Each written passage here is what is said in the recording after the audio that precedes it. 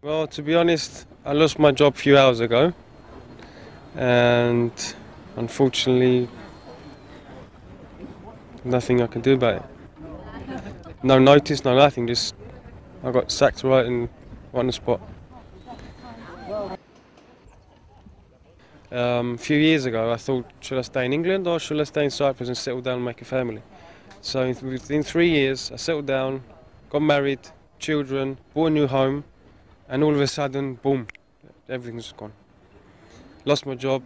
My wife uh, gonna been gonna get a wage cut even more. She, she got it cut uh, a few months ago, and they're gonna cut wages even more. So the the expenses is just is about sixty percent more than our income. So we we can't handle it. So we don't know what to do.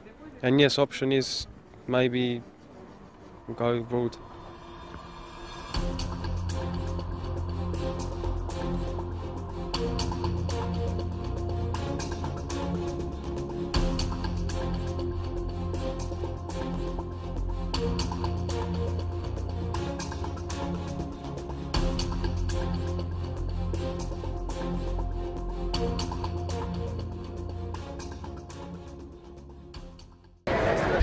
The the social impact is likely to be huge. So unemployment is now 15%, and it's still one of the uh, it's already one of the highest in in, um, in the eurozone countries. So it's the fourth highest, and um, it's probably go going to go through the roof uh, in the next few years.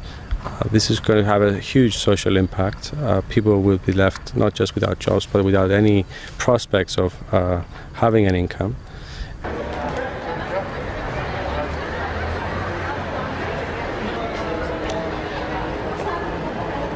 Well, it means that uh, they have to make radical changes to their way of living. They have to accept a major haircut in their uh, way of life and their standard of living. And uh, of course, the, the social consequences of this are yet to be, um, I think, realized. But they will be enormous in terms of uh, social unrest and uh, radical social phenomena.